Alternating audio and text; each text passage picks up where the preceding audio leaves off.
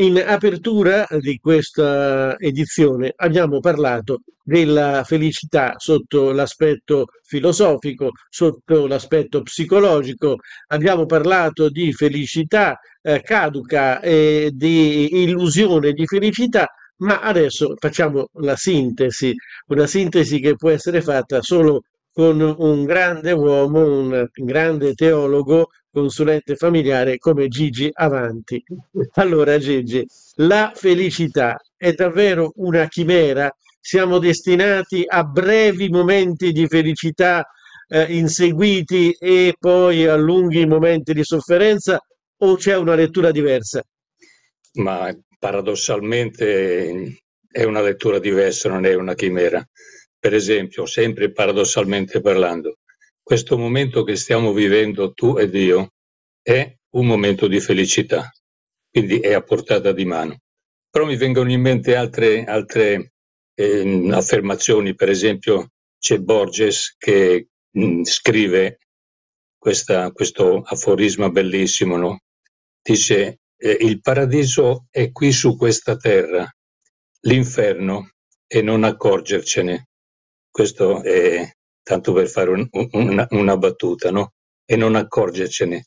E perché non ce ne accorgiamo? Perché siamo sempre presi dall'ansia di doverla eh, trovare chissà dove la felicità, mentre il trucco sarebbe quello di viverla, no? Mio, il mio amico Geppi dice di tanto in tanto dovremmo smettere di cercare la felicità e limitarci a essere felici. Ecco, i, i due verbi, no? cercare. Uno cerca, ma finché non trova eh, non, non, è felice, no? E poi tocca vedere se quello che pensa di trovare sia proprio la felicità. E l'altro verbo è limitarci ad essere felici. Limitarci vuol dire il limite, no? Il limite nostro di, di, di creature umane è, è, è, il presente. Questo presente che, come anticipavo all'inizio, no? stiamo vivendo io e te. Quindi tutto sommato eh, la felicità è possibile se si vive il presente. Cioè vivere la felicità oggi senza inseguirla. Esatto, proprio bello, esattissimo. E, questo mi fa venire in mente, quindi ti ringrazio per, per questi stimoli. Un'altra affermazione che dice la felicità non è un traguardo di arrivo, ma è un modo di viaggiare e ancora vedi che l'attenzione è, è orientata sul vivere il qui e ora, il presente, come modalità per vivere felici, tra virgolette, no? E mi viene in mente, ecco, sempre un po' paradossalmente, quando c'è stato il periodo del Covid, no? E tutta l'Italia è stata tappezzata con eh, dei cartelloni eh, che portavano scritto andrà tutto bene. Tu lo sai, no? Poi c'è anche la psicologa Gloria, che io sento sempre volentieri, no? E, e, tu lo sai che, lo dicono gli psicologi, che il futuro è sempre un po' ansiogeno, no?